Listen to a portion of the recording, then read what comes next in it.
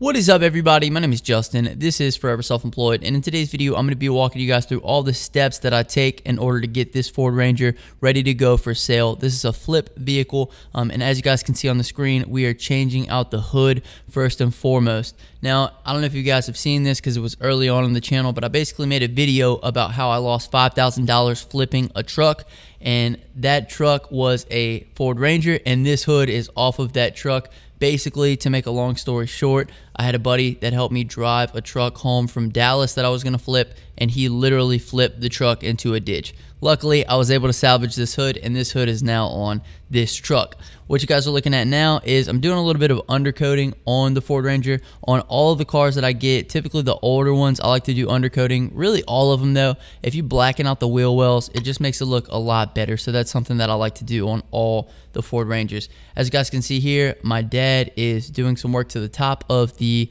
truck, which you guys will see right here. It's just very dry, very oxidized, so it was going to take a lot of work to get it looking right again. And that's why we changed out the hood as well, just because it was over oxidized. It, you know, I just had a better situation with the other hood, so we just went ahead and swapped those two out. But as guys can see here, my dad's definitely putting in some good work trying to get the top of this car back to you know as good as we can get it. Now, as far as the headlights go, I kind of changed my perspective a little bit because typically we would change out the headlights, spend about 80 to $100 and get brand new headlights for it. However, we were trying a different method with this one where we were just sanding down, you know, that top layer of the headlight and then my dad's going to come back with the buffer and you guys will see that the you know finished product was actually very good. So they came out really nicely. So i'm not sure if we're gonna still buy headlights anymore. It just depends on how good we are in it and how nice we want it to be. Maybe the higher end ford rangers maybe we might throw some new headlights on it. But this just went a lot better than you know what we expected because we usually don't try to restore the headlights to any extent. Um, now right here, I'm doing a little bit of cleaning on the inside, showing you guys what I do to the door. Um, I wasn't able to get as much footage of me cleaning out the inside, and as you guys can see here, my dad's polishing up the headlights, which came out really, really well. Um, the sanding took off that top layer of yellowness and like I said, I'm kind of reevaluating whether or not we're going to be changing out headlights on some of the other vehicles that we have. I guess we'll just have to take it situation by situation. Now, these tires, I'm using a different product than I've ever used before.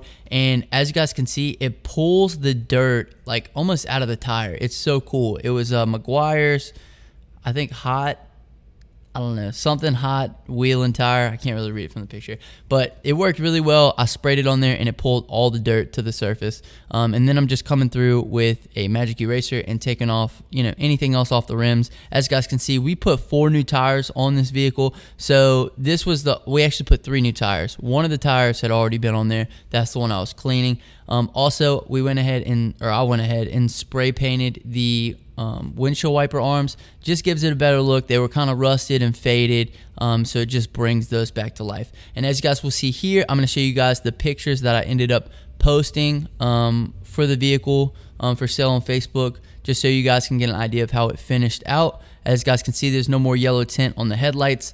Um, the car polished out nice. You know, the um, windshield wiper arms are nice and black. The interior came out very well. I put in some new floor mats as well as I just detailed it out. Um, so yeah, that's pretty much how this cleaning process went. I wish I could have got a little bit more footage for you guys. However, I will in the next one. If you guys want to see anything in particular, make sure you leave it down in the comment section below. My name is Justin. This is Forever Self Employed. And until next time, hustle hard and get that money, baby. Peace.